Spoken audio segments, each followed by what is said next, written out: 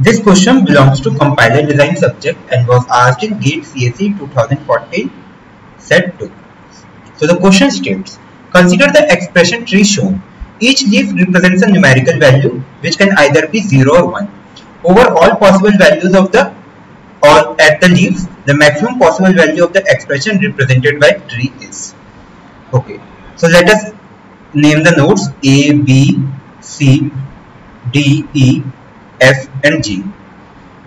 So what is the value of A? We need to maximize the A. Okay, so A is B plus C. So when is A maximum? A is maximum when B and C are maximum. So which means we must maximize B and we must maximize C. And we must maximize A. Now let us see for B and C. So what is the value of B? So B equals to D minus E.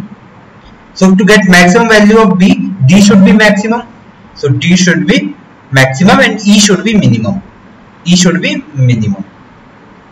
Now C value is given by C equals to F plus G. So we need to maximize C. So for C to be maximum, F and G should be maximum. So F should be maximum and G should be maximum. Okay, now let us find the values. So what is our D? D is sum of two values.